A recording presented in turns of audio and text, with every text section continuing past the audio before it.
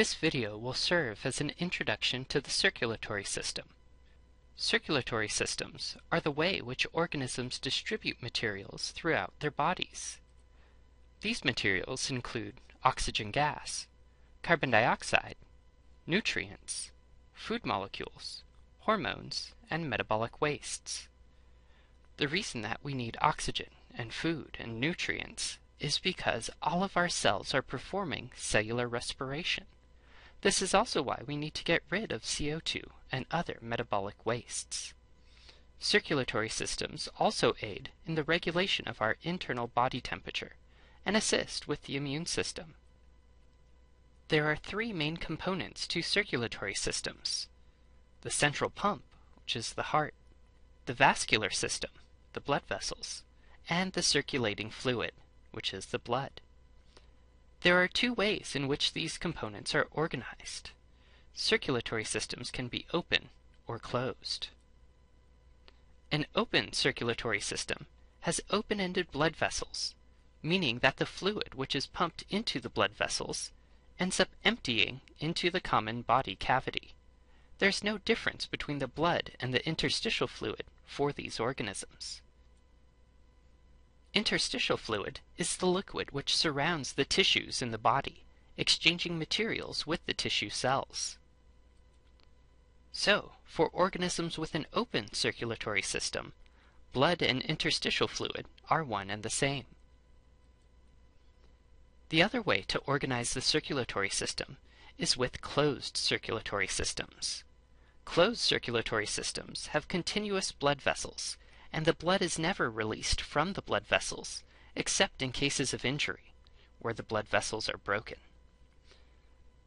The chemical composition of blood in these diagrams is represented by the color of the blood vessels. The blue coloration represents deoxygenated blood. This is blood with low levels of oxygen gas and high levels of CO2. The red coloration represents blood that is oxygenated, meaning there's a high level of oxygen gas and a relatively low level of CO2. Does blood really change color based on its chemical composition? The answer is yes, but the change is not quite as drastic as we see here. Deoxygenated blood is going to be a very dark maroon color. If you have ever donated blood, the blood that was collected from the veins in your arm is deoxygenated so the blood that is collected would be very dark in appearance.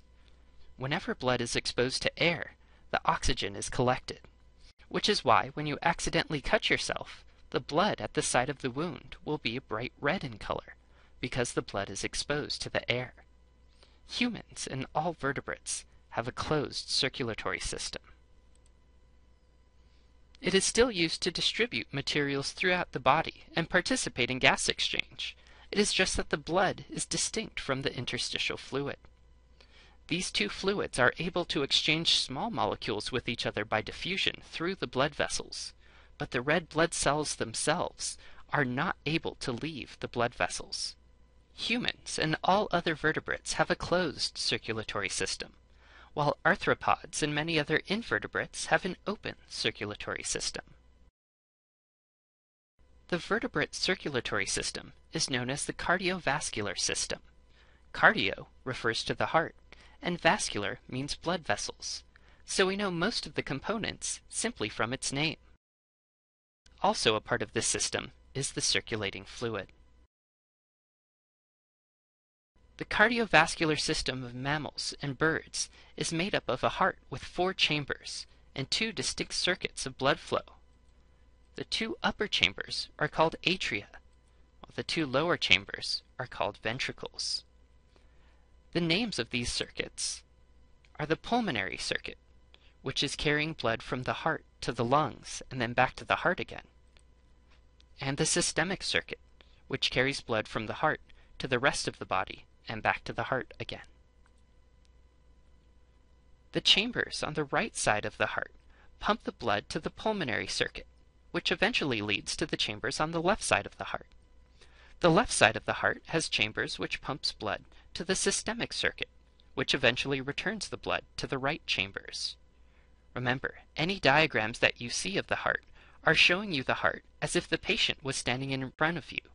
So their left is your right, and vice versa.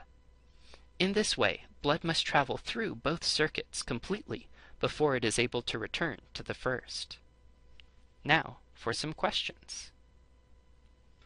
What is the name of the fluid surrounding the tissues within the body? Is that saliva, interstitial fluid, gastric juice, Kool-Aid, or all of the above are just as likely? A closed circulatory system is not able to exchange or transport materials within the body. Is this a true statement or a false statement? Which circuit carries blood between the heart and the lungs? Is that the systemic circuit, the hepatic circuit, the cardio circuit, the pulmonary circuit, or the short circuit?